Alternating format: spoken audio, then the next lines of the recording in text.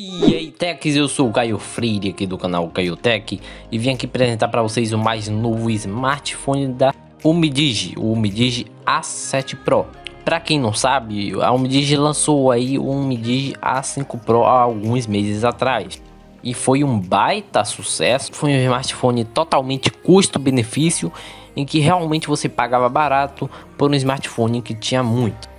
A Umidigi querendo aproveitar né, do sucesso do A5 Pro, ela lança agora aí o seu sucessor, o Umidigi A7 Pro, que tem também boas especificações e um bom preço, mantendo aí a premissa do Umidigi A5 Pro. Então vamos lá, venham comigo, vocês vão conhecer e adorar o mais novo smart da Umi.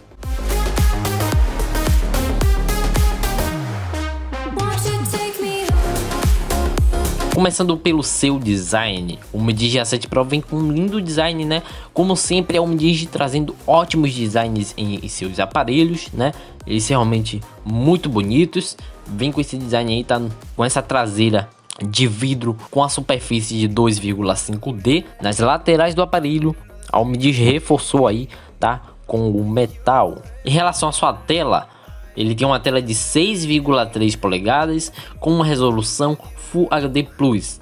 Essa resolução é de 2340 por 1080, tendo uma proporção de tela de 19.5 por 9, pois há uma câmera ali, tá? Não tem talhe, mas há uma câmera ali em formato de gota. Uma coisa importante ressaltar é que a tela não preenche toda a frontal, tendo ali um pouco né, de borda na parte inferior da tela. Agora em relação ao seu armazenamento e memória RAM, o A7 Pro está vindo com 4 GB de RAM com a tecnologia LPDDR4X, em que essa tecnologia ajuda com que a memória RAM seja utilizada com maior eficiência. E em relação ao seu armazenamento, o A7 Pro está vindo em duas versões, sendo uma de 64 GB e uma outra de 128 GB. Em relação ao seu processador, o MIDI está vindo como sempre, né? com um MediaTek, sendo um LP23, 4 núcleos com Cortex A53 de 2 GHz e os outros 4 núcleos sendo Cortex A53 também de 1,5 GHz. A sua GPU é um Mali G71 MP2 de 700 MHz. Esse seu processador, nos testes da Antutu, faz aproximadamente 122 mil pontos, tendo sim né, uma diferença aí em relação ao seu antecessor que é o A5 Pro que fazia somente 92 mil pontos. Em termos de câmera, ele está vindo com quatro câmeras traseiras, galera. Isso mesmo, sendo a câmera principal de 16 megapixels com abertura f1.8, a sua segunda câmera uma grande angular de 16 megapixels, a sua câmera de profundidade de 5 megapixels. E a sua quarta e última câmera para fotos em macro, fotos em curta distância de 2 centímetros, tendo uma lente de 5 megapixels.